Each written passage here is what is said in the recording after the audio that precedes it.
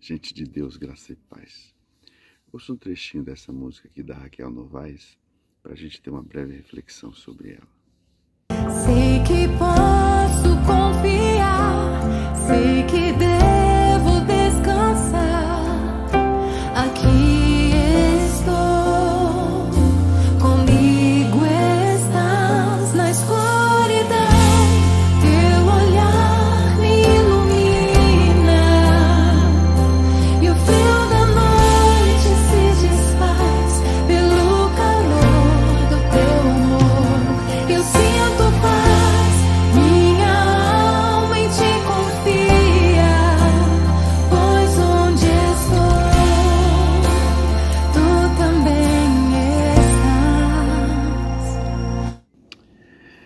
Novaes é uma ministra de louvor ah, da Comunidade da Graça de Ubatuba e ela tem sido uma pessoa bastante usada por Deus nesses últimos tempos, É, muito inspirada, né? Ela também é musicista, né? Toca teclado, É, enfim, tem abençoado a igreja brasileira aí é, de uma maneira bastante importante.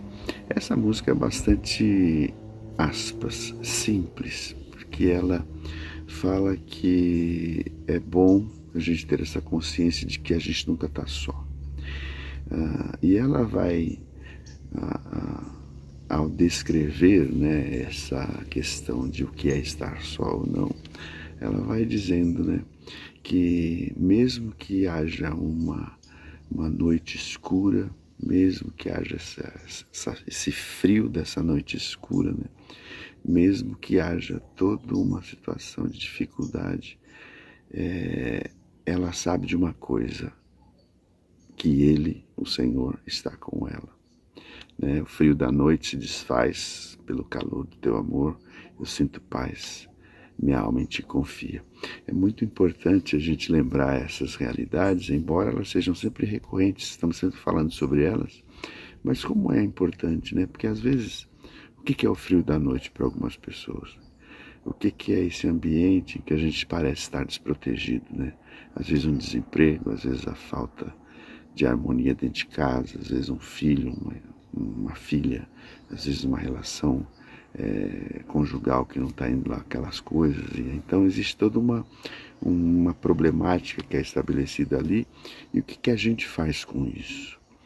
A gente tem que ter essa consciência proposta pela música da Raquel, que é a consciência de que Ele está conosco.